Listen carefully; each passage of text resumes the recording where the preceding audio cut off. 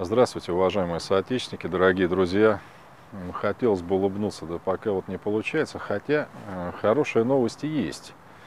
Э, борьба против антинародной пенсионной реформы, которую мы с вами, вы прежде всего, конечно, ведете, она дает какие-то результаты.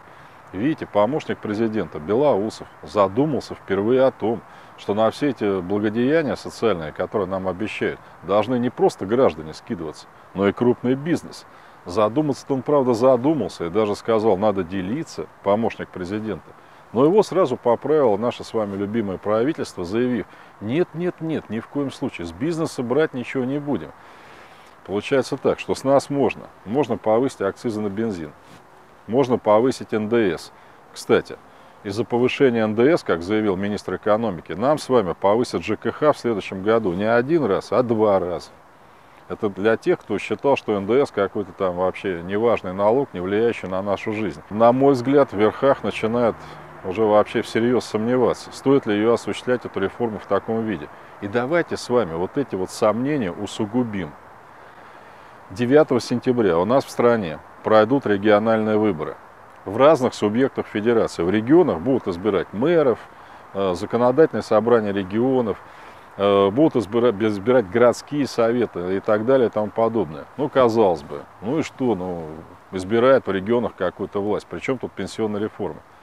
Смотрите, пока Государственная Дума голосами Единой России приняла пенсионную реформу в первом чтении, второе чтение эти товарищи наметили на конец сентября, то есть после 9 сентября. Смысл такой, сейчас вот эти красавцы, то есть мы с вами – проголосуют опять 9 сентября за Единую Россию.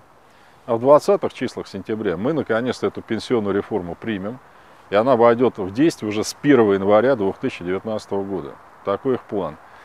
Из этого мы э, должны сделать какой вывод? 9 сентября любые выборы, где бы они ни проходили, в регионе, в городе, в селе, должны быть нами превращены в референдум против этой антинародной пенсионной реформы. Итак, смысл такой – если Единая Россия до 9 сентября не снимет свой антинародный законопроект с обсуждения, есть такая вероятность, если мы с вами будем действовать активно, тогда эта партия Единая Россия, как единственная, которая в Госдуме проголосовала за эту реформу, не должна получить на выборах ни одного голоса. Возникает вопрос, а если люди не высказались? Такое тоже бывает. Они ведь боятся. Сейчас несколько регионов которых попросили высказаться за или против пенсионной реформы, они вообще не высказались. Просто отмолчались. Например, славный город Москва, да? ну такой вот небольшой городок в Российской Федерации. То есть смысл опять такой, сейчас за нас проголосуют, а 10 сентября или 11 мы выскажемся за пенсионную реформу. Поэтому, когда вы будете решать, за каких кандидатов голосовать или за каких не голосовать, принцип простой – любой кандидат, который должен получить наш с вами голос, должен публично высказаться и вывесить на своем сайте заявление о том, что он против пенсионной реформы и никогда ее не поддержит. Если человек, ну тем более за реформу, или промолчал, значит он выскажется за нее позднее, после того, как обманет нас 9 числа.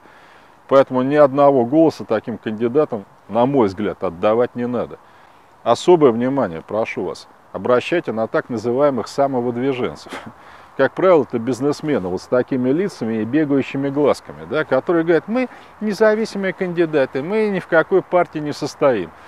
Как только вы их выбираете, выясняется, что эти люди делали бизнес с администрацией, и, естественно, они мгновенно оказываются после выборов уже да, в Единой России или их поддерживают.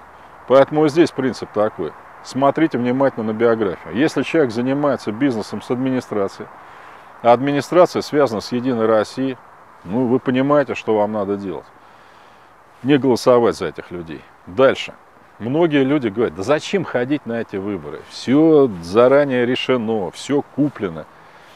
Ребята, вы себя даете купить или нет? Рассуждайте так. Если вы не придете, ваши бюллетени могут использовать. Но что там греха таить? Поэтому придите, обязательно проголосуйте. И еще очень прошу о чем. У нас не хватает на участках наблюдателей. Знаете, есть оригиналы, которые и в урны что-то вбрасывают, вот по официальным данным, и протокольчики переписывают.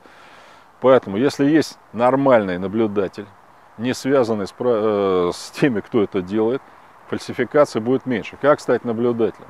Да очень просто, не надо никаких затрат, ничего.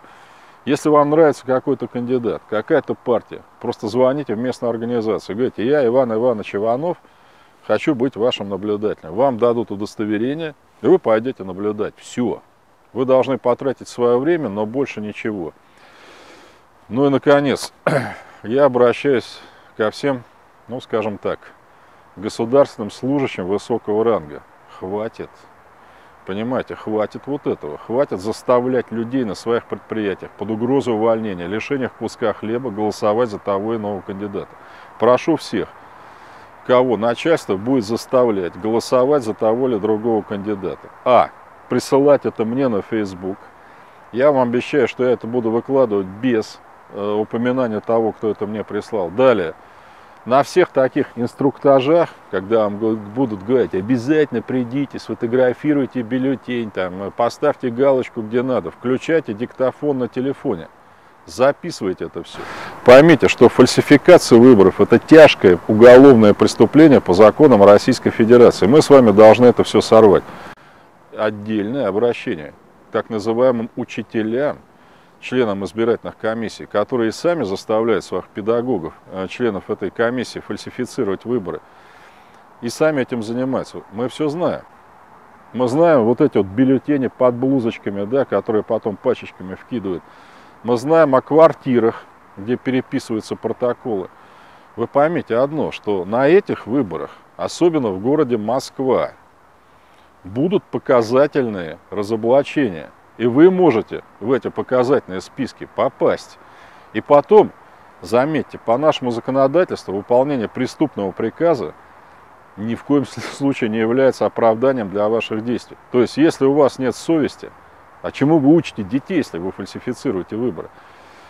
Тогда обращаюсь к вашему страху.